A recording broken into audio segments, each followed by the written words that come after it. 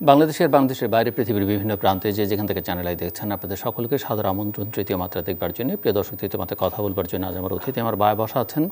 স্বাধীনতা চিকিৎসক পরিষদ সচিব, মহাসচিব প্রফেসর ডক্টর এম আজিজ এবং আমার ডানে রয়েছেন বাংলাদেশ জাতীয় পার্টি বিজেপির চেয়ারম্যান, সাবেক সংসদ সদস্য ব্যারিস্টার আন্দালিব রহমান পার্থ। স্বাগত আপনাদের দুজনকে তৃতীয় মাত্রায় প্রফেসর এম আজিজ বাংলাদেশের অনেক উন্নয়ন, অগ্রগতির কথা আপনারা বলেন এবং দৃশ্যমান উন্নয়নের কথাও বলেন।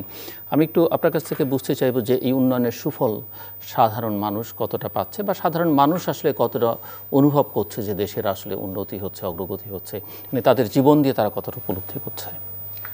ধন্যবাদ আপনাকে, ধন্যবাদ দর্শক শ্রোতাদেরকে।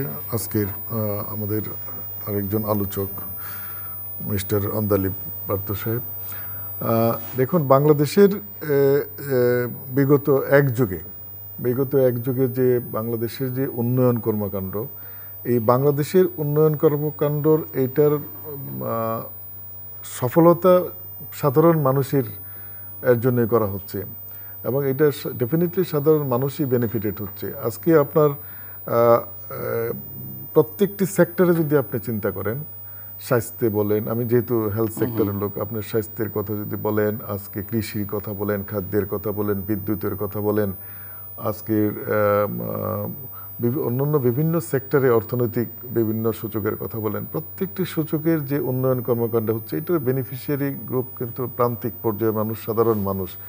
আজকে যদি আমি স্বাস্থ্যের কথাই চিন্তা করি, প্রান্তিক পর্যায়ে যে কমিউনিটি ক্লিনিকের যে স্বাস্থ্যসেবা এইটা একদম রুট লেভেলের ছয় হাজার মানুষের জন্য ওয়ান স্টপ সার্ভিস সেন্টার সাধারণ মানুষ সেবা পাচ্ছে। আজকে বাংলাদেশের বিশেষায়িত বড় বড় হাসপাতালগুলো, একশো বারোটি মেডিকেল কলেজ বিশেষায়িত হাসপাতাল অনেক আপনি ঢাকা শহরে দেখছেন। মেডিকেল বিশ্ববিদ্যালয় রিসার্চের জন্য পাঁচটি মেডিকেল বিশ্ববিদ্যালয়। প্রাইভেট মেডিকেল কলেজ সাত সিক্সটি সেভেন এই এই, এই- সমস্ত সেক্টরে যে সমস্ত হেলথ সেক্টরে যে সমস্ত কাজ হচ্ছে, এটা বিভিন্ন সূচকে আন্তর্জাতিক সূচকে এগিয়ে আছে বাংলাদেশ এবং অ্যাওয়ার্ডও আমরা পেয়েছি আন্তর্জাতিক। সেই প্রেক্ষাপটে মানুষ এটার সুফল পাচ্ছে। আজকে গ্রামীণ অর্থনীতি যদি বলেন, গ্রামের যে বঙ্গবন্ধু গ্রাম সমবায় করেছিল, আর জননেত্রী শেখ হাসিনার যে এই গ্রামীণ অর্থনৈতিক যে কর্মকাণ্ড খামারায়ন প্রকল্প, বিভিন্ন হাঁস, মুরগি গরু কিংবা মৎস্য, বিভিন্ন খামারায়ন প্রকল্প এবং সামাজিক নিরাপত্তা বলে যে কর্মসূচি, এই এগুলো বেনিফিট কিন্তু মানুষ প্রান্তিক পর্যায়ে পাচ- পাচ্ছে এবং এই প্রান্তিক পর্যায়ে মানুষ আছে, গ্রামে যদি দেখা যান গ্রামে খালি পায়ে, খালি গায়ে, খালি পেটে কেউ থাকে না। আজকে কুরের গোড়া জাদু করে কুপিবাতি আজকে পাবে না। রাস্তাঘাট এখন অজপাড়া গায়ে রাস্তাঘাট হাওড়ের ভিতরে রাস্তাঘাট আছে। সুতরাং এইগুলোর সুফল কিন্তু মানুষ পাচ্ছে। এরকম প্রত্যেকটি সূচকে যদি আমরা বলি আজ এই যে পদ্মা সেতু, মেগা প্রজেক্ট যেগুলো হচ্ছে, পদ্মা সেতুর বেনিফিট কিন্তু এই এই দক্ষিণ, পশ্চিম অঞ্চলের মানুষ কিন্তু পাবে। এবং পাশাপাশি এর সাথে রিলেটেড যে নগরায়ন হবে, শিল্পায়ন হবে এবং মেগা প্রজেক্ট যেগুলো হচ্ছে, সবগুলো মেগা প্রজেক্ট যেগুলো অর্থনৈতিক অঞ্চল যেগুলো হচ্ছে, এগুলো মানুষের কর্মসংস্থান হচ্ছে। সুতরাং সব মিলেই আমরা যদি দেখি যে আজকে গার্মেন্ট শিল্পের যে প্রসারগুলো যেগুলো হচ্ছে, এটার অর্থনৈতিক বেনিফিট যেটা আছে, আমরা এই কোভিড সিচুয়েশনে আমরা লক্ষ্য করেছি যে কোভিড সিচুয়েশনে আমাদের অর্থনৈতিক যে বিভিন্ন সাপোর্টগুলো আছে, আপনার ফরেন রেভিনিউসের কথা বলেন গার্মেন্ট শিল্পের যে, বলেন, আমাদের যে রেভিনিউ কালেকশন বলেন এই সব মিলিয়ে কিন্তু আমাদের দেশের এই যে অর্থনৈতিক অবস্থাও কিন্তু এখন ভালো। এই আজকের পত্রিকাও দেখলাম যে বাংলাদেশের গার্মেন্টস শিল্পের যে রপ্তানি, এটা বিগত অনেকগুলো বছরের মধ্যে আজকে এবার শীর্ষ, একদম সবচেয়ে বেশি হচ্ছে। সুতরাং এই সমস্ত সরকারের সুনির্দিষ্ট নীতিমালার কারণে এবং উন্নয়ন পরিকল্পনার কারণেই কিন্তু আজকে বিভিন্ন সূচকগুলো এগিয়ে যাচ্ছে। এবং আপনি যেটা জিজ্ঞেস করলেন এইটার সুফল অবশ্যই বাংলাদেশের জনগণ পাচ্ছে এবং প্রান্তিক পর্যায়ের জনগণ পাচ্ছে। এবং এইটাই মাননীয় প্রধানমন্ত্রী জননেত্রী শেখ হাসিনার এই শক্তি আমি মনে করি প্রান্তিক জনগোষ্ঠী জননেত্রী শেখ হাসিনার শক্তি। বাট আন্দালিব রহমানের যে উন্নয়ন গাথা শুনলাম বা উন্নয়নের কথা আমরা শুনলাম আসলে মানুষ কতটা স্বস্তিতে এবং শান্তিতে আছে সব নিয়ে? ভাই ধন্যবাদ আপনাকে। একটা সরকার বারো বছর, তেরো বছর ক্ষমতা আছে আনডিস্টার্বড ওয়েতেই বলতে পারেন উন্নয়ন তো কিছু হবে, এই ব্যাপারে তো অস্বীকার করার কিছু নাই। কিন্তু উন্নয়ন একটা রিলেটিভ টার্ম উন্নয়ন, দুই ধরনের উন্নয়ন আছে। একটা হলো, আপনি ইনফ্রাস্ট্রাকচার ডেভেলপমেন্ট দেখবেন, রাস্তাঘাট দেখবেন। আরেকটা উন্নয়ন হলো মানুষের কোয়ালিটি লাইফের কোয়ালিটি এবং জীবনধারার যে উন্নয়ন।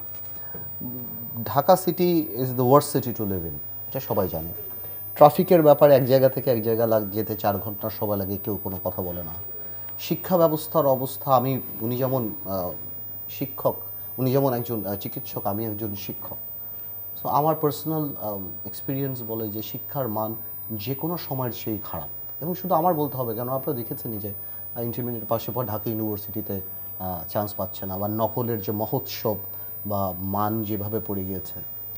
তারপর স্বাস্থ্য খাত ডেফিনেটলি আমরা জানি অনেক ভালো কাজ হচ্ছে বাট বিদেশে যাওয়ার প্রবণতাও মিডল ক্লাস ফ্যামিলির মধ্যে স্বাস্থ্য খাতে অনেক বেশি বেড়ে গিয়েছে। চিকিৎসার জন্য। চিকিৎসার জন্য। সেটাও দেখতে হবে যে কতখানি ট্রাস্ট তাদের আছে। তারপর রাজনীতির কথা তো আর আমরা বাদই দিলাম। সুশাসনের ব্যাপারটা বাদই দিলাম। সরকারের সুশাসন এই দেশে গণতন্ত্র থেকে আরম্ভ করে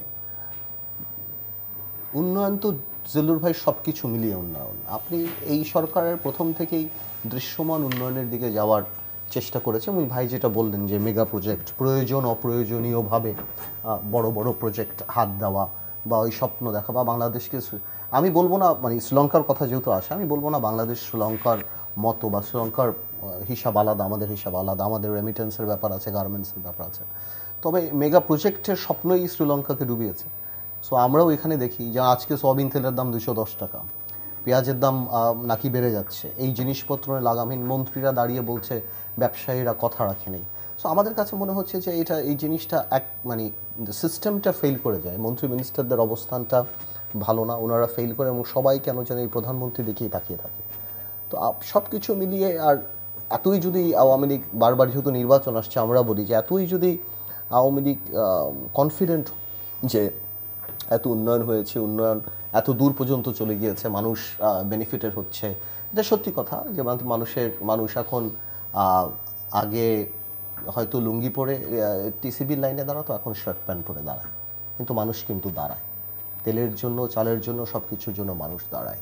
জিডিপি শ্রীলঙ্কারও চার হাজার ডলার ছিল, আমাদেরও প্রায় দুই হাজার সাতশো ডলার। কিন্তু এখন যদি কেউ বিশ্বাস করে যে বাংলাদেশের প্রত্যেকটা মানুষ স্বয়ংসম্পূর্ণ বা অর্থনৈতিক উন্নয়ন একদম গ্রাম অঞ্চল পর্যন্ত গিয়েছে, এটা ভাই বলতে পারেন ওনার ব্যাপার, দর্শক ঠিক করবে। বাট আর এই দেশে যে করাপশনের ব্যাপারটা, যে জিনিসটা দেখেন আপনি, যে সাত লক্ষ কোটি টাকা নাকি পাচারি হয়ে গিয়েছে এত বছরে। তো এই এই এরকম করাপশন তো আমার মনে হয় না এই সাতত্রিশটির কথা আছে নাকি?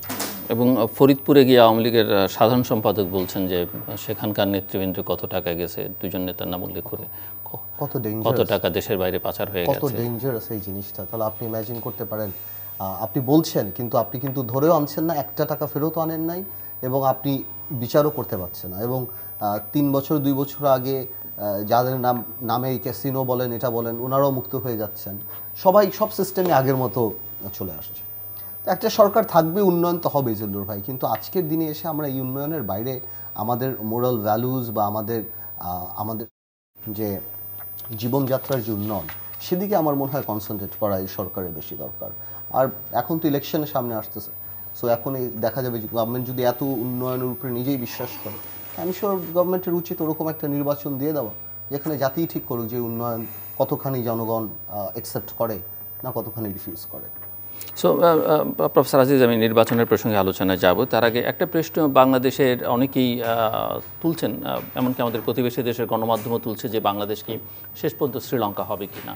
যদিও কেউ বলছেন হবে না, কেউ বলছেন যে শ্রীলঙ্কার সঙ্গে আমাদের অনেক পার্থক্য আছে। আবার শ্রীলঙ্কা যে অবস্থার মধ্য দিয়ে গেছে, অনেকে বাংলাদেশের সঙ্গে তার প্রায় প্রতিটি ক্ষেত্রেই মিল খুঁজে পান। সো আপনার কাছে কি মনে হয়? ধন্যবাদ আপনাকে। দেখুন, শ্রীলঙ্কার সমস্যা আর বাংলাদেশের সমস্যা এক করলে চলবে না। শ্রীলঙ্কার বিভিন্ন সূচকগুলো যদি দেখেন না, কিন্তু শ্রীলঙ্কা আজকে যে ভালো অবস্থাগুলোর কথা আপনি বললেন সেই অবস্থার মধ্যে তো কিন্তু শ্রীলঙ্কা গেছে। যে পার ক্যাপিটা ইনকামের কথা চাঁদালি বলেন সেটা বাংলাদেশ থেকে অনেক বেশি ছিল। শ্রীলঙ্কা কিন্তু মধ্যমায়ের দেশে উপনীত হয়েছিল উন্নীত হয়েছিল আবার সেখান থেকে নামিয়ে দেওয়া হয়েছে পরে। আমি আমি বলছি দেখেন আহ, শ্রীলঙ্কার বেশ কয়েকটি ইন্ডেক্সের কথা যদি আমরা দেখি দেখেন শ্রীলঙ্কার ট্যুরিজম যেটা খাত এটা একটা বড় একটা খাত ছিল। সেই কোভিড সিচুয়েশনে ট্যুরিজম খাতে বিরাট একটা লস হয়েছে হয়েছে। আপনার শ্রীলঙ্কার যে বিদ্যুতের যে ইলেকট্রিসিটির যে সিস্টেম এটা ডিজেল বেস ডিজেল আমদানি করতে না পারার কারণে এটা ইলেকট্রিসিটিতে দশ নামছে। আপনার ওদের যে গার্মেন্ট শিল্প গার্মেন্ট শিল্পগুলোর ওদের যে বিদেশে যে কানেকশনগুলো ছিল এটা অনেক বাজার তার তাদের হাত থেকে চলে গেছে। এটা একটা বড় ইম্পর্টেন্ট ফ্যাক্টর ফরেন রেমিটেন্স যেটা আসতো শ্রীলঙ্কার ফরেন অনেকে ফরেনার আছে, বাইরে থাকে, কিন্তু ওদের রেভিনেন্সটা রেমিটেন্সটা ওদের যে পলিটিক্যাল রুলিং গভর্নমেন্ট ওদের সাথে গ্যাপ থাকা গ্যাপ থাকার কারণে সিকিউরিটির অভাব ফিল করে এই টাকাটা পাঠায় না। এখানে একটা বড় সমস্যা। ওরা যে ব্যাটটা হঠাৎ করে কমিয়ে দিল এইটা একটা বড় ফ্যাক্টর ব্যাট কমিয়ে দেওয়ার কারণ পরে ওর রেভিনিউটা একটা লেভেলের নিচে এসে গেছে। এইটা কভার দিতে পারেনি। আপনার ওদের যে মেগা প্রজেক্টগুলো মেগা প্রজেক্টগুলোর যে কাজটা শুরু করছিল, এদের, এটার যে ব্রেকআপ পলিটিক অন্যান্য দিকের যে সাপোর্টগুলো ইকোনমিক সাপোর্ট এই সাপোর্টগুলো ছিল না। তাদের পরিবারতন্ত্র অনেক বড় সমস্যা। তাদের গুড গভর্নেন্সের ল্যাকিংস আছে। সব মিলেই কিন্তু এই শ্রীলঙ্কার এই অবস্থা। কিন্তু বাংলাদেশে দেখেন, বাংলাদেশের আপনার স্ট্রং ইকোনমি এবং আপনার ল্যাটারাল ইকোনমিক সাপোর্টগুলো শক্তিশালী। আমি একটু আগে বলছিলাম যে গভর্নমেন্টের ফরেন রিমিটেন্স সাফিসিয়েন্ট বাংলাদেশে দেখেন এখন আপনি রেমিটেন্স কমছে ফরেন রিজার্ভ কমতে শুরু আমি আমি আমি বলছি আমি বলছি এটা। বাংলাদেশের করেছে, ফরেন। রেমিটেন্স বলেন বাংলাদেশের রিজার্ভ বলেন বাংলাদেশের ফুড অ্যান্ড এগ্রিকালচারাল যে সাপোর্ট এটা স্বয়ংসম্পন্ন ব্যাড রিসোর্সের রেভিনিউ ইনকাম সাফিসিয়েন্ট আপনার বাংলাদেশের মানে গ্যাস যেটা কয়লা ভিত্তিক এটা ওদের ডিজেল বেস ছিল, সেটা না। বাংলাদেশের রপ্তানি অনেক ভালো।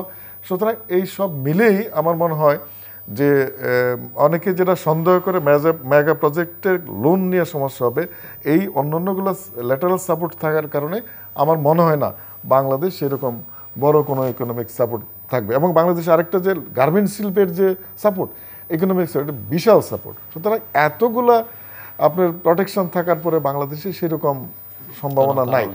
পাশাপাশি বাংলাদেশের সরকারের এমন অবস্থায় চলে আসে নাই যে এটা হ্যাঁ আপনি বলতে পারেন যে অনেকে আছে বিরোধী দলের সকল অনেক বিরোধী দল যারা আছে তারা অনেক চলছেরা বিশ্লেষণ করতেছে মানে ফ্রেমের ভিতরে ফ্রেমের ভিতরে অনেক কথাবার্তা বলা যায় বলছে অনেকে। কিন্তু বাস্তবতা মাঠের বাস্তবতা এটা না।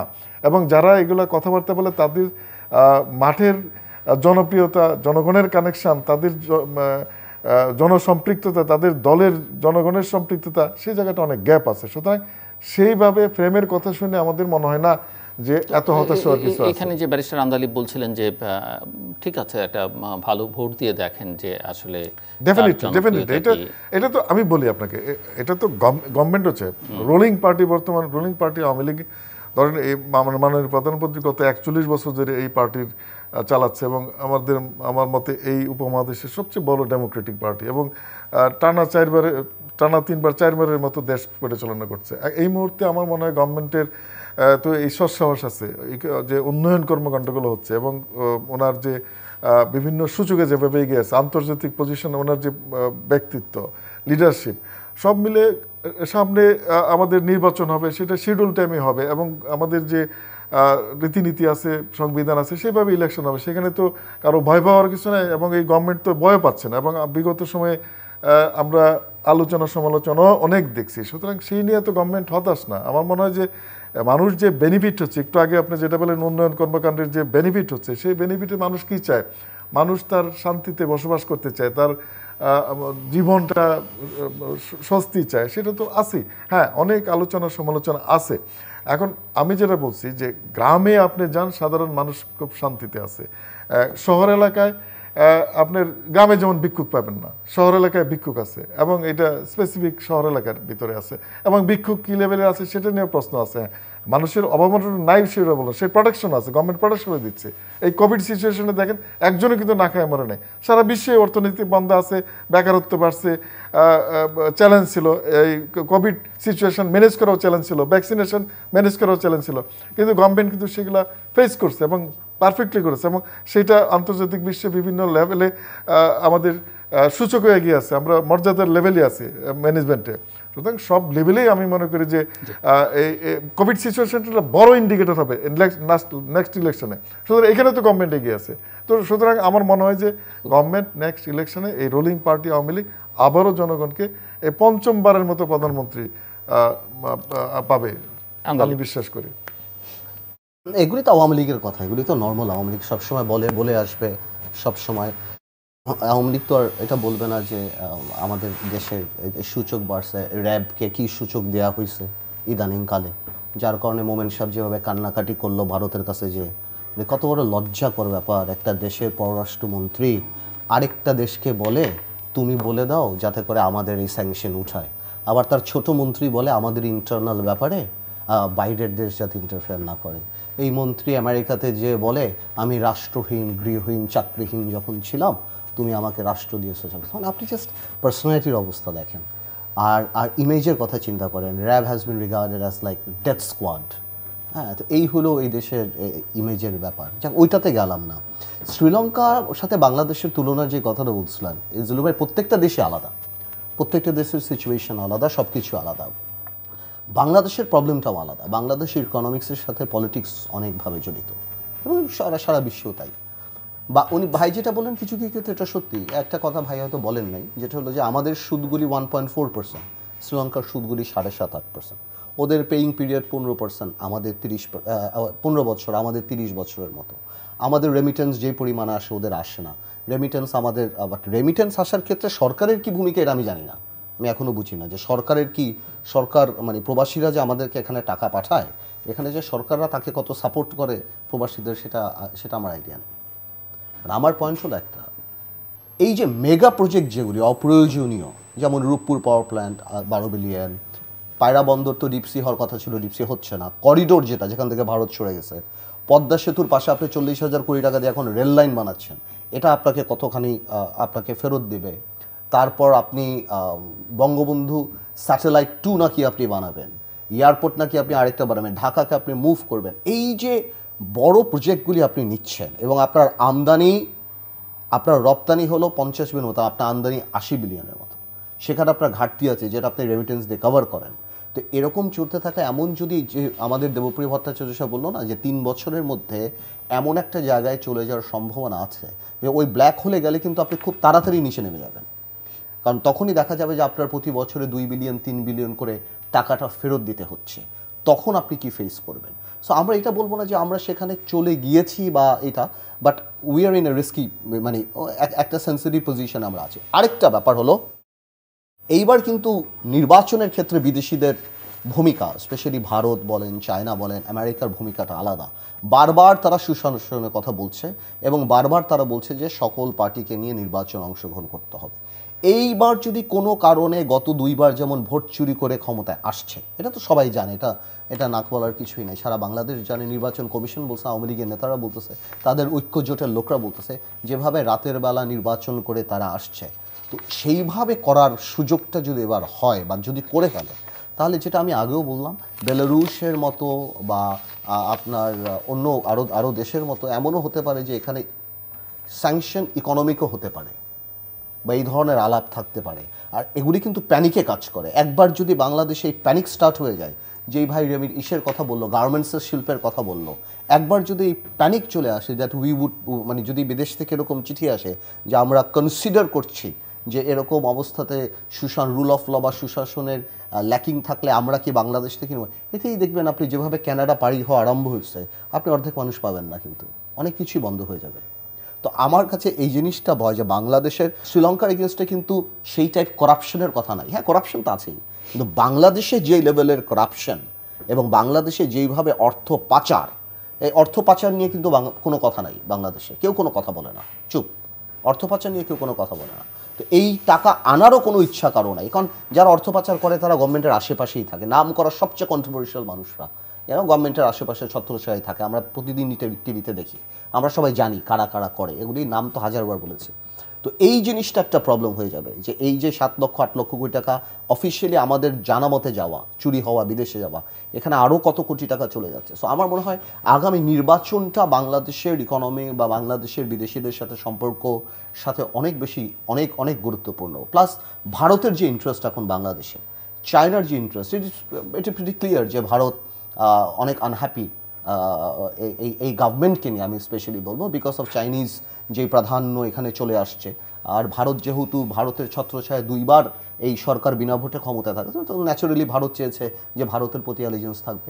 ভারতেরও স্টেক আছে, ভারত স্বাধীনতা যুদ্ধে ভারতের সোলজার মারা গিয়েছে, ভারত এখানে এক কোটি শরণার্থী রেখেছে। সো ভারতও চিন্তা করবে যে আমি এমন কাউকে এখানে অকুপেশন যার কারণে ভারত বিএনপির এগেনস্টে ছিল, যার কারণে জামাত ইসলামী বা পাকিস্তানি একটা প্লট যাতে এখানে না থাকে। সো এটা ইন্টারেস্ট থাকবেই। আর আজকের গ্লোবাল পলিটিক্সের দিনে ওই কথা বলার কোনো সুযোগ নাই যেন আমাদের ইন্টারনাল ব্যাপার আমরা করি গ্লোবাল ওয়ার্ল্ড আর আপনি নিজে যেই যখন বলছেন যে আমেরিকাকে যে তুমি একটু বিএনপির নির্বাচনে নিয়ে আসো আপনি নিজে যে ইন্ডিয়া ইন্ডিয়াকে বলছেন, তুমি একটু আমেরিকাকে বলে দাও, আপনি আবার আমরা কোন মুখে বলব যে এটা আমাদের এটা। সো গ্লোবাল পলিটিক্সে যে যার সিকিউরিটির কথা চিন্তা করবে।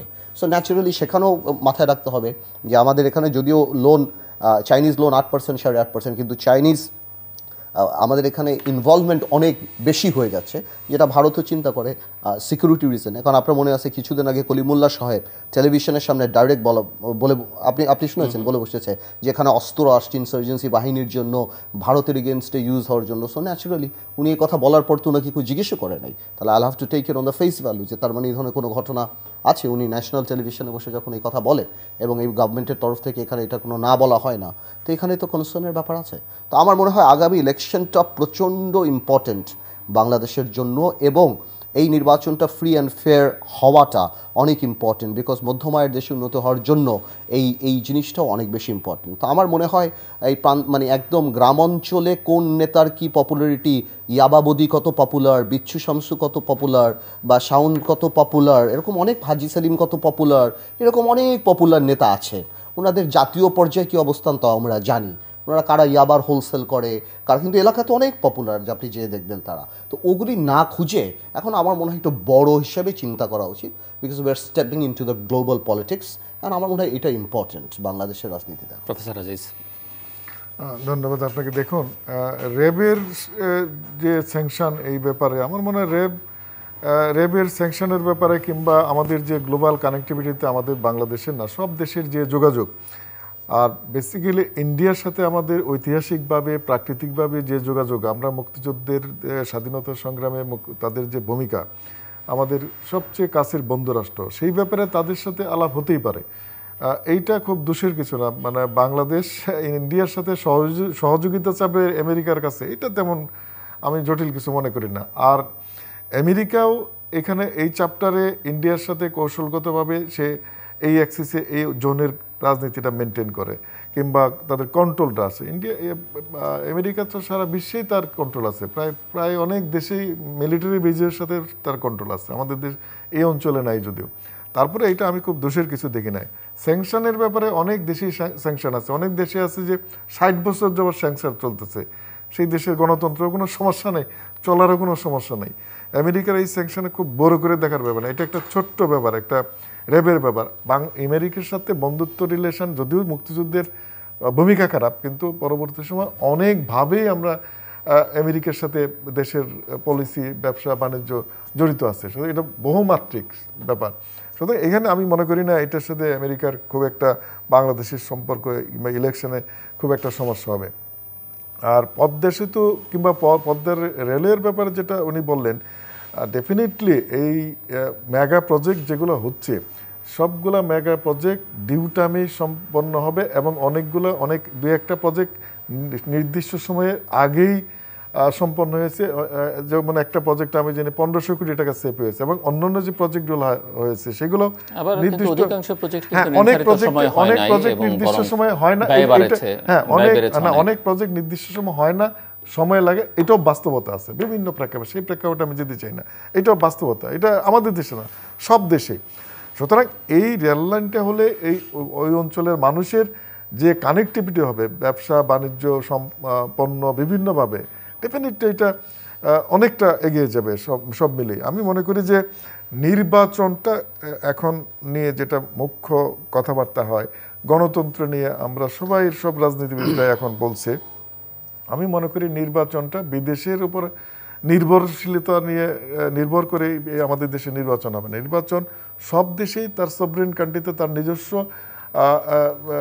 যে প্ল্যাটফর্ম আছে, যে সংবিধান আছে, যে নির্বাচন কমিশন তারাই করবে। হ্যাঁ গভর্নমেন্টের বাইরের বিভিন্ন কানেকশন আছে, কূটনৈতিক কানেকশন বিভিন্ন দলের বিভিন্ন কানেকশন থাকতে পারে। সেইটা এখানে খুব বেশি প্রভাব পড়বে বলে আমার মনে হয় না। গভর্নমেন্ট তার নিজস্ব স্টাইলে ইলেকশনটা করবে।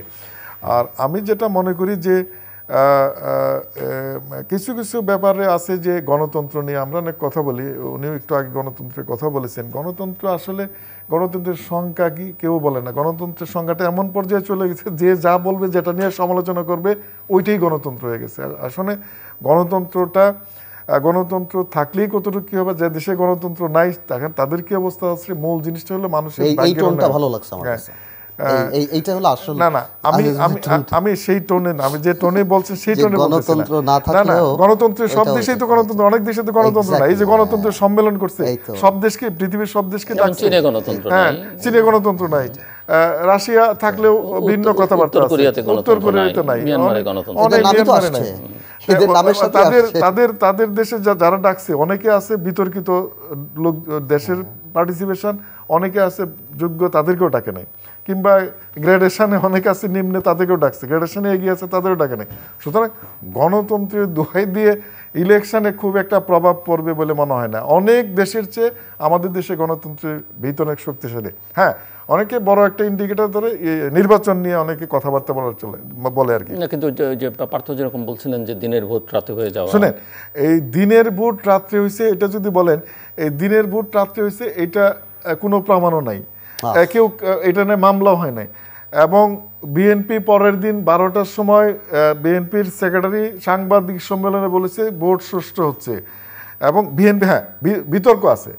বাংলাদেশ হওয়ার পরে কিংবা পৃথিবীতে এখন পর্যন্ত কোনো দেশের অ্যাবসলিউটলি একদম ফেয়ার নির্বাচন কোনো দেশে হয় না এই বাংলাদেশেও বিগত একান্ন বছরে সব নির্বাচন ফেয়ার হয়েছে তা না। এবং বিগত নির্বাচনে যে অ্যাবসলিউটলি ফেয়ার হয়েছে সেটা আমি বলব না। হ্যাঁ নির্বাচন ঠিকই আছে নির্বাচনটা বিতর্কিত করছে কারা, কীভাবে আপনি দেখেন? দুই হাজার চোদ্দ সালের যদি প্রেক্ষাপট দেখেন, নির্বাচনে ওরা অংশগ্রহণ করল না কেন? আপনার এর আগের পাঁচ ছয় বছরের ইতিহাস দেখেন, তাদের যে এই শোষণ নির্যাতন একুশে আগস্টের ঘটনা, তারপরে এই ইয়াজউদ্দিনের ঘটনা, বুটের যে ঘটনা, তার এক দেড়, প্রায় সোয়া কোটি বুট যেটা ঘটনা ইয়াজউদ্দিনের তত্ত্বাবধায়ক সরকারের যে ঘটনা, আটান্ন দ্বারা ব্যক্ত করে সে, যে ঘটনা ঘটেল, সব মিলেই তাদের যে নেগেটিভ অবস্থান, তারা সাহস পায় না ইলেকশনে যেতে। তাদের নেতৃত্বও ছিল না। ঠিক আঠারো সালের পরে এই জ্বালাও আন্দোলনের পরে আগের সেই অবস্থান এবং বিএনপি একবার তার মেইন অ্যাক্সিস থেকে সরে গেলে যে কোনো কিছু আর নিয়ন্ত্রণ হারায়, বাইরে চলে, নিয়ন্ত্রণ হারায়। এবং বিএনপির নিয়ন্ত্রণ ছিল না। তারা তাদের মূল উদ্দেশ্য সফল হয়েছে। তারা চেষ্টা করেছিল যে এটা একটা বিতর্কিত ইলেকশন করবে। তাদের কোনো ক্যান্ডিডেট এক একটা ক্যান্ডিডেট পাঁচ, এক একটা ক্যান্ডিডেট জুডিশন পাঁচ, সাতজন করে ক্যান্ডিডেট দিছে। সেই লন্ডন থেকে স্কাইপিতে যোগাযোগ করছে এবং ওখানে মনোনয়ন বাণিজ্য হয়েছে। তাদের কোনো এজেন্ট ছিল না।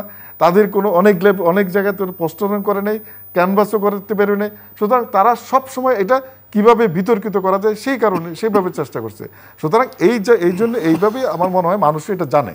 মানুষ এটা জানে। হ্যাঁ, definitely. আপনি যেটা বলতেছেন। আমি যেটা আপনি এটা বিশ্বাস করেন যে বাংলাদেশে দুই সালের হ্যাঁ। যে নির্বাচনটা হ্যাঁ। এটা ভালো হয়েছে এটা ফেয়ার হয়েছে? একদম এটা আপনি জানেন। একদম fair তুমি বললে। আমি না আপনার মনে হয় এখানে ভোট ডাকাতি হয় না এই চুরি হয়? না, না, ভোট ডাকাতি ভোট আমি অনুরোধ BNP করব কে ভাই- রাত্রে না, না, আমি ঘুমাইছিল। বলি না বিএনপি রাত্রে যদি- আমি যে লোক কলা গাছে দাঁড়িয়েছে আপনি তার কথা শুনুন, না না আপনি টেলিভিশনের সামনে বসে হ্যাঁ। আপনি দুই হাজার আঠারো সালে নির্বাচনকে ডিফেন্ড করবেন। যেই নির্বাচনের পর আপনার নির্বাচন কমিশনার দাঁড়িয়ে বলেছে যে আর রাতের ভোট হবে না। এমপিরা বলেছে নির্বাচনকে কীভাবে ঠিক করা যায় নির্বাচন। নির্বাচন কমিশনার বলেছে মানুষের কথা করে। কোট করে বলেন। বলেছে। এক একজন আপনারা এত সিট পেয়ে গেছেন এমন মরা মানুষ ভোট দিয়ে গিয়েছে। Definitely, শেষ করি। হ্যাঁ। মরা মানুষ ভোট দিয়ে গিয়েছে। যেখানে যা ভোটার আছে হান্ড্রেড পার্সেন্ট ভোট কাস্ট হয়ে যায় আর আপনি এই টেলিভিশনে বলছেন বসে তাহলে আমি আপনাকে একটা অনুরোধ করব। আমি যদি ভুল করে থাকি আর আপনি যদি ভুল থেকে আপনি এটা এই অনুষ্ঠানটা টেলিভিশনে যাওয়ার পর এটা ফেসবুকে যাবে। আপনি কমেন্টগুলি পড়বেন। জনগণ হ্যাঁ। আপনাকে কি বলে? এবং এই কমেন্ট পড়ার পর আমি আপনি আবার এসে এখানে বসবো। এই কমেন্ট আমি বলছি। হ্যাঁ আপনি অলরেডি আপনি অলরেডি এই চিন্তিত হয়ে যাচ্ছেন। না, না, চিন্তিত হ্যাঁ, না। আপনি আমার আমি কথা বলছি। এইটা চ্যানেল আইতে যাবে। জনগণ পার্টিসিপেট করবে যে আপনি কি সত্যি কথা বলছেন কিনা? আপনি কি বিশ্বাস করেন কিনা? যে হ্যাঁ। বাংলাদেশের দুই হাজার হ্যাঁ প্রত্যেকটা নির্বাচনে ফ্ল ছিল। আমি অস্বীকার করি না। কিন্তু এরকম ভাবে চুরি ছিল না। বাংলাদেশের ইতিহাসে না সাউথ ইস্ট এশিয়ার ইতিহাসে এরকম বেহায়াপনা নির্বাচন হয় নাই। এটাই সত্যি কথা এটাই বাস্তব কথা। এখানের কোনো শুনেন আপনি অন্য কথা বলেন বলেন। আপনি যদি নির্বাচনকে জাস্টিফাই করতে চান আমি কাউন্টার করব। বিকজ আচ্ছা, এই শেষ- নির্বাচন শেষ আপনি- আপনার বললেন, সম্পূর্ণরূপে এই নির্বাচন না, না না জিলুর ভাই if you repeat a lie it becomes truth আমার ওনাকে থামাতে হবে।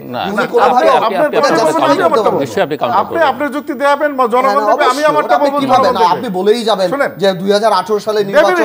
জনগণ আমি মনে করি দুই হাজার আঠারোর আগে যে উন্নয়ন কর্মকাণ্ডগুলো উন্নয়ন না, সেটা অন্য কর্মকাণ্ডে কথা। পুরস্কার দিয়েছে উন্নয়ন কর্মকাণ্ড, আপনি ভোটে যে পুরস্কার দিয়েছে। যে একটু আগে বললেন, এবং আপনি যে এবং জনগণ জনগণ সঠিক জবাব দিয়ে যারা আন্দোলনের সঠিক জবাব আচ্ছা, দিয়েছে নির্বাচনের মাধ্যমে আমি সেভাবে মূল্যায়ন আপনি- আপনি সেটা। সেটা মূল্যায়ন করেন সেভাবে। আমি সেভাবে ভোট দিতে দেন না কেন? না না ভোট হয়েছে। আপনি মানুষের ভোট দিচ্ছেন, ভোট ভোট আপনি শুনেন আমি তো আমি তো আমি জাস্টিফাই করছি কি কারণে এই ভোটের এই এই সমালোচনাটা হচ্ছে? কি কারণে বিএনপি এটারে বিতর্কিত করার চেষ্টা করছে? তারা কি কি বিতর্কিত বাংলাদেশের মানুষ আমি সেটা বলছি। আমি আমার জাস্টিফাই করে। না। বাংলাদেশের মানুষ হাসাহাসি করে। বাংলাদেশের মানুষ নিয়ে। এবং বাংলাদেশের জিল্লুর ভাই, মানুষ- এই জন্য আপনি দেখেন বাংলাদেশের মানুষ বিএনপিও যদি নির্বাচনে বিগত সময় ইলেকশনের অবস্থা জানে কি আপনি- মেয়র মেয়র নির্বাচনের রেজাল্ট মানুষ সাতাত্তর ইলেকশন জানে সেভেন্টি নাইন ইলেকশন জানে। ভাই এখন পর- পর প্রজন্ম চেঞ্জ হয়ে গেছে। 97 ইলেকশন জানে আপনি সাতান্ন- দুই হাজার এক সালের ইলেকশন কীভাবে এখন প্রজন্ম চেঞ্জ হয়ে গেছে। এখন দুই প্রজন্ম হাজার change ছয় সালে কি অবস্থা ছিল এখন মানুষের একটা প্রবলেম মানুষের একটা ব্যাপার হলো বিএনপিও যদি আওয়ামী লীগের অধীনে নির্বাচনে যায় মানুষ রিফিউজ করে দিবে। বিএনপিও যদি বিএনপি যে এইবার যে গেল যে কেন গেল এটা বিএনপি জানে। তো বিএন এই যে মানে আপনার পার্লামেন্টে। তো বিএনপিও যদি নির্বাচনে যায় মানুষ রিফিউজ করে দিছে।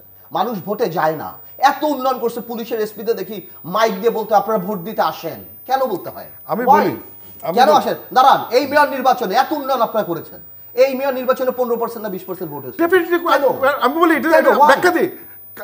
আপনার ভোটার কই? না না কোভিড সিচুয়েশনে যাই না না না কোথায়? আমি তাপসের মেয়র ইলেকশনের কথা বলতেছি। না. আমি ওইখানে কোনো ছিল না। জাতীয় নির্বাচনের পর যে নির্বাচনে তাপস আতিক আর তাবিত আওয়াল আর ইশাক যে নির্বাচন করেছে ওইখানে মানুষ ভোট না, মানুষ যায় না কেন? আমি তো যে বুট যেটা যে বুট পড়ছে সেই বুটই তো আপনি জাজমেন্ট করবেন। না না মানুষ কেন যায় না? আপনাদের ভোটাররা কেন যায় না? এটা তো বিভিন্ন ব্যাখ্যা করে। মানুষ আপনি আপনি যে বললেন। না না আপনি যে বললেন না উনি আওয়ামী উনি প্রশ্ন করছে যে আওয়ামী লীগের ভোটাররা কেন আওয়ামী লীগের ভোটাররা যায় না কেন? আওয়ামী লীগের ভোটার কেন যায় না? ডেফিনেটলি? তারা কনফিডেন্ট ছিল যে হ্যাঁ, ভোটার হয়ে যারা গেছে হবে বিএনপির ভোটার আসে নাই তারা কম হ্যাঁ। আসছে যারা দিছে তারা পাস ভাই বলেন না এগুলি। এগুলি এমন জায়গায় নিয়ে যাবেন দলকে। আপনারা এত বছর রাজনীতি করেন। এমন জায়গায় নিয়ে যাবেন দলকে। আমি পরে আর মানুষের সামনে এগুলি রেকর্ড থেকে যাবে। সঞ্চালক আমি একটা বলি। ঠিক আছে, মূল জায়গাটায় আমি মূল জায়গাটায় আছি যে সুতরাং এই যে সমস্যাগুলো হচ্ছে ডেমোক্রেটিক কান্ট্রিতে গণতন্ত্রের যদি আমরা কথা বলি সেই নির্বাচনে সরকারি দল রুলিং পার্টির সাথে শক্তিশালী বিরোধী দল থাকার দরকার আছে। বাংলাদেশে বিএনপি বড় দল ছিল, এতে কোনো সন্দেহ নাই। কিন্তু তাদের নেতৃত্বের ব্যর্থতার কারণে আজকে যে মূল নেতা দুইজন, তারা বিভিন্নভাবে দণ্ডিত দেশে বিদেশে আছে। এই মুহূর্তে নতুন যদি তাদের সম্মেলনে করে, সম্মেলন ডেট চলে গেছে, তাহলে এই দুইজন তারা, তারেক রহমান সাহেব আর খালেদা জিয়া তারা দলের নেতৃত্বে আসতে পারবে না, দায়িত্বে আসতে পারবে না, সদস্য হইতে পারবে না, কারণ তাদের আইনি জটিলতা আছে এখানে। সুতরাং এই জায়গাটায় বিএনপির নেতাকর্মীরা বিভ্রান্ত। তারা মিডিয়াতে বলে না, অনলাইনে বলে না, ব্যক্তিগতভাবে বলে যে আমরা কি করব? আমাদের তো নেতৃত্বই নাই। আমরা কার নেতৃত্বে কাজ করব? কীভাবে সংগঠিত হবে?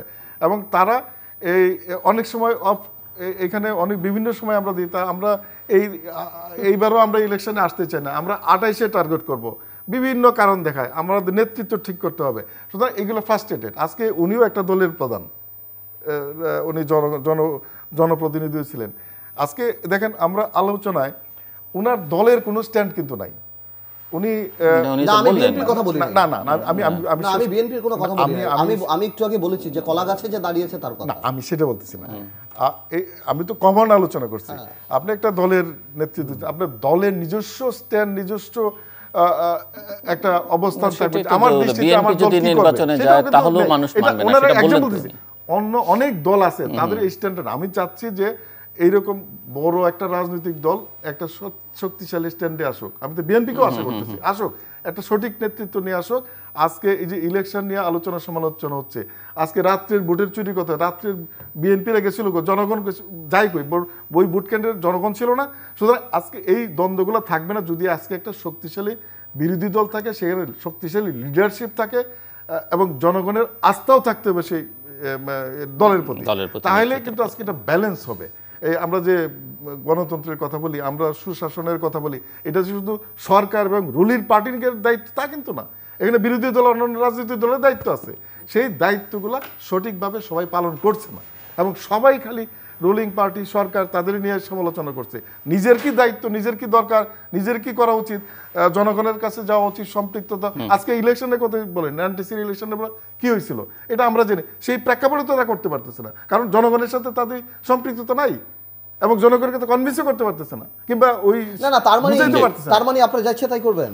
আমি সেই কথা না বিএনপি জনগণকে সম্পৃক্ত করতে পারতেছে না না। বিএনপি জনগণের কথা আমরা।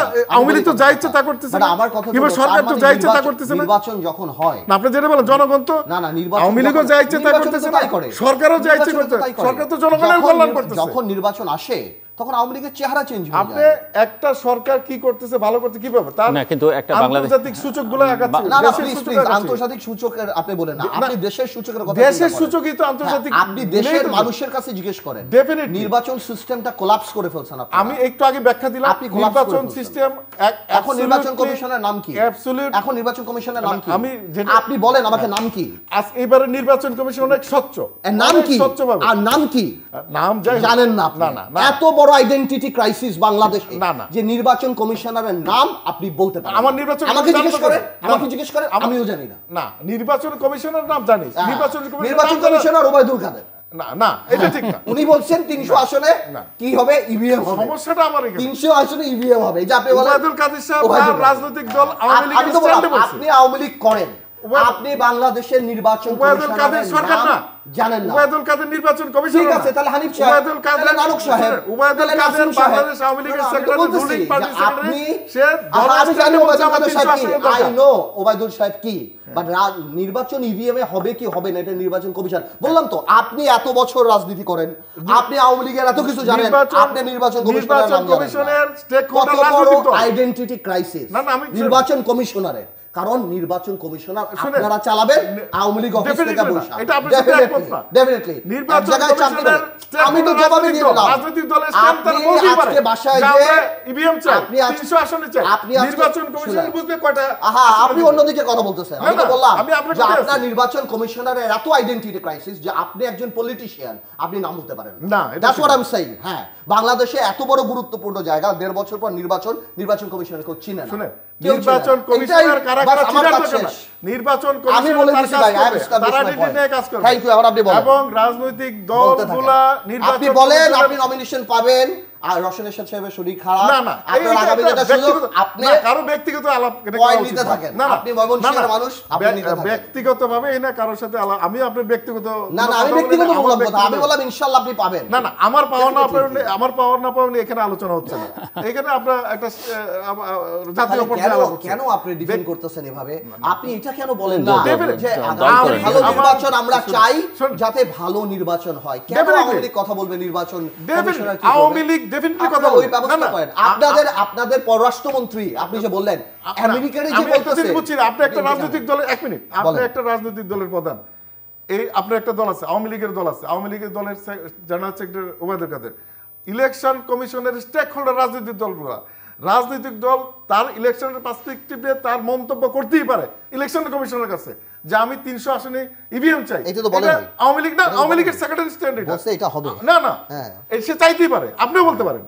আপনি বলতে পারেন। চাইতে পাওয়ার আপনি হাও বলতে পারেন নাও বলতে পারেন। এটা হবে আপনার এক জিনিস, right। আরেকটা কিন্তু এইটা নিয়ে ওবায়দুল কাদের নির্বাচন ভাই, নির্বাচন কমিশনের কেউ চিনে না, সরকার আবার দল দুইটা নির্বাচন কমিশনের কেউ চিনে না না বাংলা কিন্তু এর আগে তো দরকার নেই। আহ, হ্যাঁ, অবশ্যই যারা- বিতর্কিত নির্বাচন করেছে সেটা তাদের দেখবে। কত মানুষ চিনতো অনেক বেশি। নির্বাচন কমিশন- আইডেন্টিটি তো লাগবে। শুনেন ঝুলু ভাই নির্বাচন রফিকুর এমন একটা জায়গা। নির্বাচন কমিশন আজিজ নির্বাচন কমিশন চিনবে। না তো গালি দিতেও তো চিনতে হবে। নির্বাচন বি- কমিশনার বিতর্কিত নির্বাচন কমিশনার এমন একটা জায়গা যেখানে আপনার একটা আপনার ক্রেডিবিলিটি থাকতে হবে। মানুষ আমি যেটা বলার চেষ্টা করছি যে মানুষ এত তুচ্ছ তাচ্ছিল্য করে নির্বাচন কমিশনকে নিয়ে যে মানুষ বদেদি না কে আসলো কে গেল। আদারওয়াইজ তো ভালো নির্বাচন কমিশন হলে মানুষ তো এক্সাইটেড থাকতো। ক্রেডিবল নির্বাচন কথা ওনারাই জানে না ওনারাই বলতে পারবে না। এবার না। নির্বাচন কমিশনের নাম তো আওয়ামী লীগের পকেট তো আসে নাই। না, না। চৌধুরীর স্লিপের থেকে আওয়ামী লীগও দেয় আউস মানে এত ইলেকশনের মানে আওয়ামী লীগ আরে একদম অবাক হয়ে গেছে। মাধ্যমে মানে আওয়ামী লীগ অবাক হয়ে গেছে কথা এর শুনে। বিরোধী দলগুলা আইন হইছে এমন এই প্রক্রিয়ার মাধ্যমে আসছে। এটা আওয়ামী লীগের পকেট থেকে আসে এটা হলো দলীয় মতো স্বচ্ছ নির্বাচন কমিশন বাংলাদেশ ভাই, ঠিক আছে থ্যাংক ইউ কিন্তু একটা একটা প্রশ্ন যে চোদ্দোর নির্বাচন আঠারোর নির্বাচন পুরো তেইশের নির্বাচন একই ধারায় যদি হয় পরপর শুনেন। সেটা সেটা কতটা ধারা তারা বলব নির্বাচন হবে এবং আমাদের যে গঠনতন্ত্র আছে কিংবা সংবিধান আছে ইলেকশন কমিশনার সেই প্রক্রিয়ায় নির্বাচন করবে। রাজনৈতিক দলগুলা আমিও ব্যক্তিগতভাবে চাই সব রাজনৈতিক দল অংশগ্রহণ করুক একটা কিন্তু অনেক রাজনৈতিক দল তো বলছে যে আওয়ামী লীগের অধীনে নির্বাচন হবে না। যেমন সেটা ব্যারিস্টার আপনি ওই ব্যারিস্টার সংবিধান তার নিজ তার দল তার দলের অবস্থান জানতে চেয়েছিলেন এখন কি কারণে করবে? কেন করবে না? যদি অন্য কোনো রাজনৈতিক দল নির্বাচন অংশগ্রহণ না করে নির্বাচন যদি না হয় আপনি একা মাঠে গোল দিবেন। না নির্বাচন করবে না কেন? কেন করবে? আমরা বিশ্বাস করি না আপনাকে। বাংলাদেশে কত আমরা আপনাদেরকে বিশ্বাস করি না। এটা তো যখন আপনি জনগণ আপনাদেরকে বিশ্বাস আপনি যখন বলবেন যে আমি বিশ্বাস করি না জনগণ করে আপনার সেই পরিমাণ অবস্থান জনগণ করে না। জনগণ থাকতে চায় না। আপনাদেরকে ভোট দিতে চায় সেই পরিমাণ আপনাদের রাজনৈতিক অবস্থান জনসমর্থন। থাকতে হবে হ্যাঁ, যে।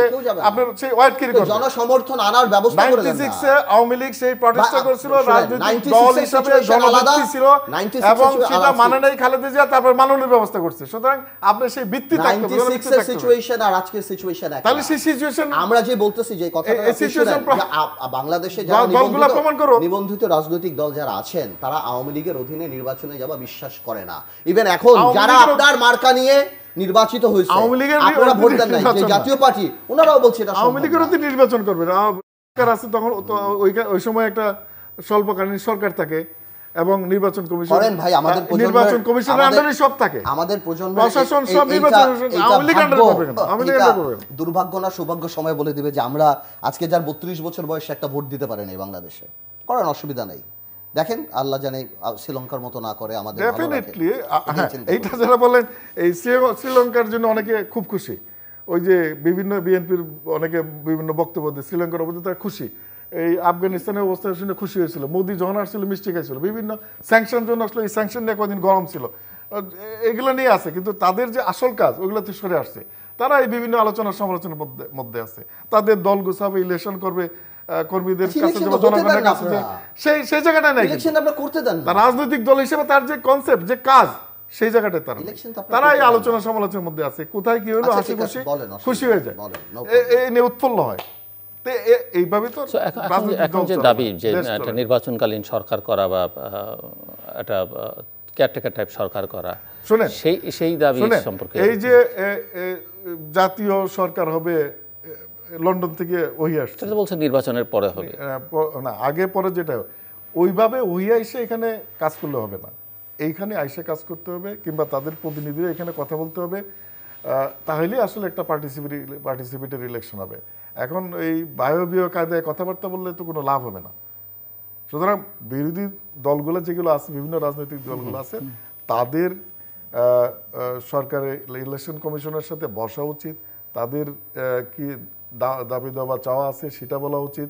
কিংবা রাজনৈতিক শোনেন ইলেকশন কোনো সময় ফেয়ার হবে না। যদি রাজনৈতিক দলগুলোর মধ্যে ঐক্য না থাকে ঐক্যের সংস্কৃতি না থাকে নিজেদের মধ্যে বোঝাপড়া না থাকে। ইলেকশন কমিশন ইলেকশন কমিশনের স্টেক হোল্ডার রাজনৈতিক দলগুলো রাজনৈতিক দলগুলো প্লেয়ার এগারো জন ফুটবল প্লেয়ারের মধ্যে, তাদের মধ্যে যদি এই দলের নিয়মকানুন না মানে খেলা ভালো হবে না। সুতরাং এই রাজনৈতিক দলগুলো ইলেকশন কমিশনের নেতৃত্বে তারা ইলেকশন করার যে প্রক্রিয়া খেলা এখানে আসতে হবে আইসাদ ইলেকশন কমিশনের সাথে আলাপ করে জামানত বাজেয়াপ্ত করতে হবে। আপনাদের অধীনে নির্বাচনে জামানত আপনারা আপনারা জামানত বাজেয়াপ্ত- 30% জামানত। বাজেয়াপ্ত জনগণের- রাত্রেবেলা 30% ভোট দিয়ে দিবেন তারপর কোথাও 99% পাঁচ না, না, লক্ষের মধ্যে এই- সাড়ে পাঁচ এগুলা- লাখ ভোট বিএনপি দুই হাজার এগুলা- আমরা দেড় হাজার এটা জানে আপনি খুলে দেখেন না বাংলাদেশের রাজনীতি দেখেন না আগাম গত নির্বাচনে না আমি আপনাকে বলি যদি আপনি যেটা বললেন এই স্ট্যান্ড নিয়ে আপনি জনগণের কাছে যান হ্যাঁ। যে এই আঠারোতে এসে আমাদের ভোট দেন জনগণ তো যদি জানে যে ঠিক আছে আপনাদের দিবে এটা।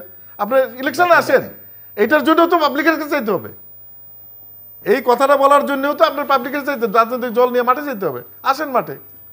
আওয়ামী লীগও তার মাঠে যে কথা বলে আপনার কথাও জনগণই জনগণই বিচার করবে। আমার মনে হয় না আপনি যেটা বলছেন আমি জানি না বিএনপি আন্দোলন করতে পারবে কি পারবে না বা আদৌ করবে বা কোন ঈদের পরে করবে আই ডোন্ট নো হ্যাঁ? বাট আমার মনে হয় দেখবেন বিদেশ থেকে ফোন টোন আসে সুর সুর করে দিয়ে দিবে। কি?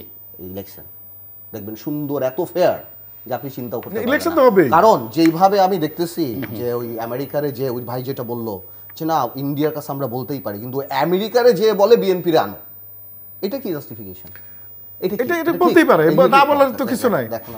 বলতে পররাষ্ট্রমন্ত্রী মনে করছে রাজনীতি বলতে পারে, আছে, যা আছে সব শেষ। শুনেন, আমেরিকার অ্যাম্বাসেডর আওয়ামী লীগ- পররাষ্ট্র এসেছে আওয়ামী লীগের সরকার আওয়ামী লীগ তো বলবেই বিএনপির আসেন ক্ষমতা ইয়া ইলেকশনে আসেন। দিয়ে আমেরিকা দিয়ে বলবে। চেষ্টা করবে যে আসেন ইলেকশন করেন ইলেকশন করে বলবে না। আওয়ামী লীগ তো চায় পার্টিসিপেট ইলেকশন সব দল ইলেকশন চায় না সবসময় চায়। আগেও চাইছে চোদ্দ দুই হাজার চোদ্দশো চাইছে। অনেক। দুই হাজার চোদ্দ তো মাননীয় প্রধানমন্ত্রী সময় ফোন করছে আলোচনায় বসছে পরবর্তী আঠারোতে আলোচনায় বসছে তখন তো আসলো না। গুরুত্বপূর্ণ মন্ত্রণালয় দেবে বলছে তখন তো আসলো না। আসুক আর অসুবিধা না নাই। কিন্তু এখন না আসলে তো কোনো না কোনো কারণ তো তারা বলছে। হ্যাঁ, কারণও তো আমি বলছি, তাদের- আপনি একের পর এক সব আমি আপনাকে বলি সেটা আমরা তাদের ভাই না না gap ভাই। জিনিসটা এটা না আপনি যেটা বলছেন কনফিডেন্স নাই এটা বলেন না। বাংলাদেশের সব কনফিডেন্স আপনাদের থাকলে তাহলে আর আপনারা ভোট চুরি করে ক্ষমতা আসতেন না। শুনেন। আমাদের আমরা বলি কথাটা তাহলে আর এত কনফিডেন্স আপনাদেরও নাই। হ্যাঁ তাইলে দলের উপরেও না পুলিশের উপরে নির্ভর করেন আপনারা। দলও না। দলের কর্মীরাও বিশ্বাস করেন না আপনারা। ডিসি আর পুলিশের উপরে বিশ্বাস করেন। আমরা জানি আমরা এখন জানি আওয়ামী লীগের আজকে ভোট হইলে কি হবে এটা আমরা জানি। আওয়ামী লীগও জানে। আওয়ামী লীগও জানে। আচ্ছা কিন্তু আমি যেটা বলার। শুনেন আমি যেটা বলার চেষ্টা করছি দেখেন আমরা আসলেই চাই যাতে আওয়ামী লীগের এই এই এই রিয়েলাইজেশন হয় আর আওয়ামী লীগ পলিটিক্স স্টার্ট করে। আওয়ামী লীগ যে পলিটিক্সটা স্টার্ট করে। স্টার্ট করলে হবে কি, তখন এমন একটা জায়গায় আসতে পারে যেখানে জনগণের আস্থা আসে। কারণ এত অবস্থা খারাপ হয়ে গেছে যে যে কথাটা বললাম যে আমরা বিএনপিও যদি নির্বাচনে আওয়ামী লীগের অধীনে যায়, তাহলে জনগণ ভোট দিতে যাবে না। দুই হাজার চোদ্দ সালে আমরা যাই নাই বিকজ আমাদের কথা ছিল আমরা দলীয় সরকার অধীনে নির্বাচনে যাব না। এবং সেটা প্রমাণ করার জন্য যখন আমাদেরকে অনেকে বলছে যে তোমাদের একবার পার্টিসিপেট করা উচিত দেখানোর জন্য যে দলীয় সরকারের অধীনে নির্বাচন সম্ভব না। সেটা আমরা দুই হাজার উনিশ সাল আঠারো সালে করে আমরা দেখিয়ে দিয়েছি যে ইট ইজ ইম্পসিবল বাংলাদেশে দলীয় সরকারের অধীনে নির্বাচন করা। এটি সম্ভব না। এটা বিএনপির আমলেও হবে না। বিএনপির অধীনেও যদি হতো আরও খারাপ হতো। এই এই মাইন্ডসেটই বাংলাদেশে নাই। সো ওই পারপোজ এখন সার্ভ হয়ে গেছে যে এটা সম্ভব না। এবং আপনারাও এত চুরি করতে চান নাই যত চুরি হয়ে গেছে। আপনারা যে পার্থ করতে চান ক্ষমতায় থাকতেই হবে বা ক্ষমতায় যেতেই হবে রাজনীতির এই যে ধারণা এটাকে আপনি না এইটার একটা প্রবলেম নেতা হিসেবে কি দেখেন? না এটা ডিপেন্ড করে আপনি কতখানি কাজ করে ফেলছেন। আওয়ামী লীগ ক্ষমতায় থাকা অবস্থায় জুডিশিয়ারি বা সব কিছুকে ব্যবহার করে অপোজিশনকে এলিমিনেট করে দেওয়ার যে একটা প্রবণতা আসছে এই কারণে এবং যেই পরিমাণ অর্থ কামাই করেছেন ওনাদের নেতারা হ্যাঁ যেই পরিমাণ টাকা পয়সা বিদেশে পাচার করছে এখন তার আমি বলতে পারে না যেই কথা আজকে ওবায়দুল কাদের সাহেবই বলছেন এবং ওনাদের ছত্র ছায়ায় যেই এমপি মানে মানে বললাম তো, যারা মানে যাদের পাঁচশো টাকার মালিক ছিল না হাজার কোটি টাকা করে ফেল এটা চোখে দৃশ্যমান। এখন এটাকে সেভ করার জন্য ওনাদের থাকাটা অনেক ইম্পর্ট্যান্ট আদারওয়াইজ ওনাদের মনে ভয় হয় যে এটাও সেভ করতে পারব না প্লাস রাজনীতিও থাকবে না। ওনার প্রবলেম নাই। এই জন্য we doesn't realize owner problem his a honest man ঠিক না, ঠিক না, না না আমি বলি কথাটা ওনার প্রবলেম নাই উনি ক্ষমতা আসলে আপনি দেখা যেত। honest বলছেন। না ইজ এ ডক্টর কৌশল বলার কৌশলের ব্যাপার না। বলার কৌশল। সুতরাং আমি একটা আজিজ ভাই আমি একটা কথা আমি অনেক বছর টক শো করি অনেক কথা না সে তো খুব ভালো অরেটর আমার আপনাকে মানে কৌশল দিতে হবে না। আপনি যদি আপনি যদি ভুল করতেন আমি আপনাকে সামনেই বলতাম যে আপনি এটা করেছেন। আই নো ইউ যে যে কারণে আমি বলছি যে ওনারা ওইটা রিয়েলাইজ করে না। ওনারা একটা ইমোশনাল বেতে না।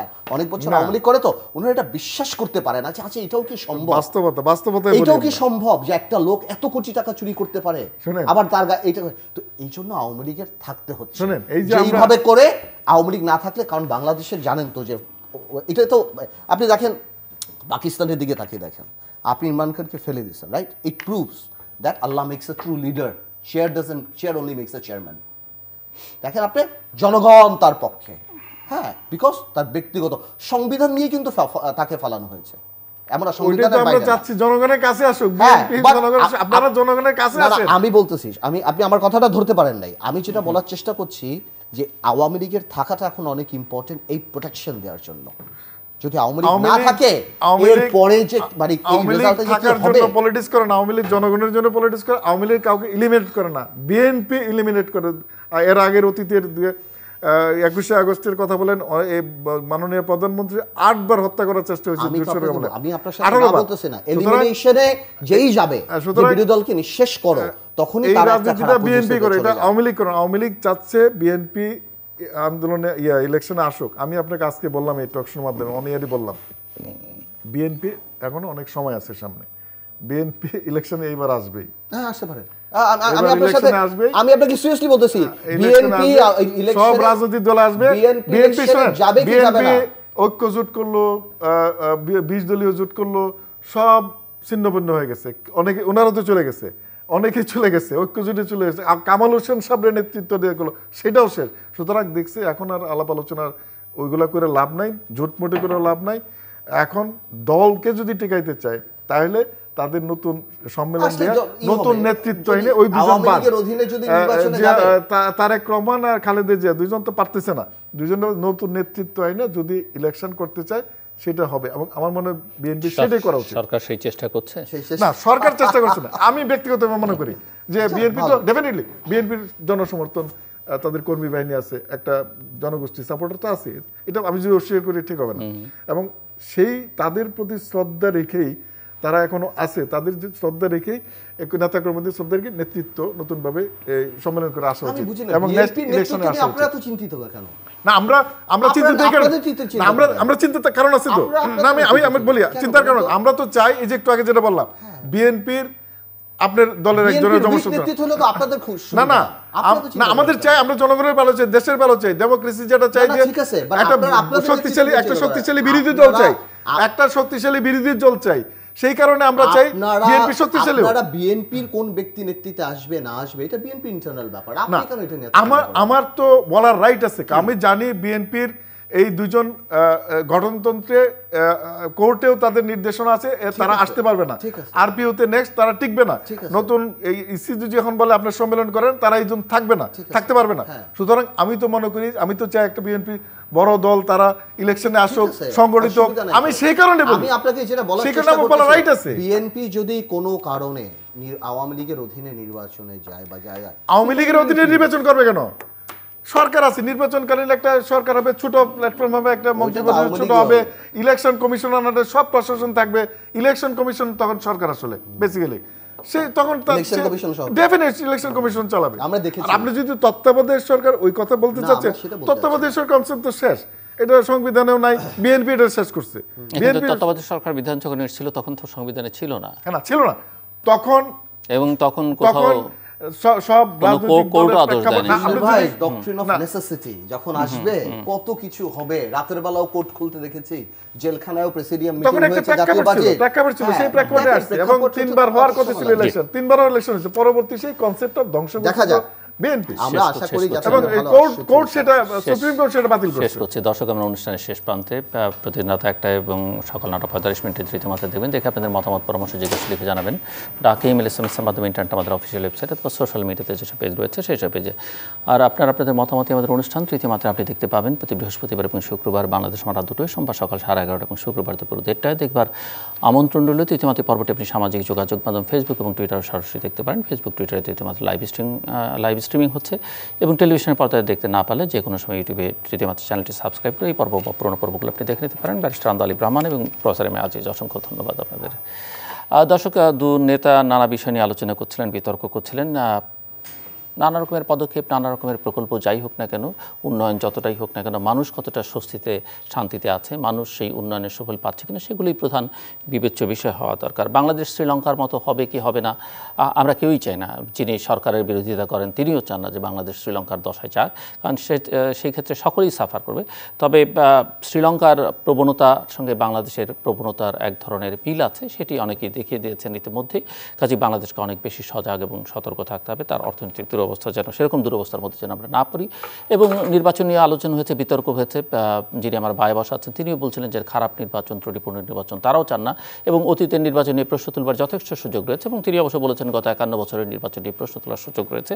তবে বাংলাদেশের মানুষ দীর্ঘদিন ভালো ভোট পায় না। সে কারণেই একটি অবাধ, সুষ্ঠু, স্বচ্ছ নিরপেক্ষ, গ্রহণযোগ্য, অংশগ্রহণমূলক নির্বাচন। দু হাজার শেষে বা চব্বিশের শুরুতে হোক সেটি সকলের চাওয়া এবং বোধহয় বা সেরকম একটা নির্বাচন করতেই হবে। এবং তাতে তার, যার দায় যতখানি থাকুক বা না থাকুক, নির্বাচন সেরকম একটা করতে হবে। এটি বোধহয় বর্তমান বাস্তবতা বা আবহাওয়া বলছে। দর্শক আমাদের সঙ্গে থাকবার জন্য অসংখ্য ধন্যবাদ। আপনাদের সবার জন্য শুভকামনা।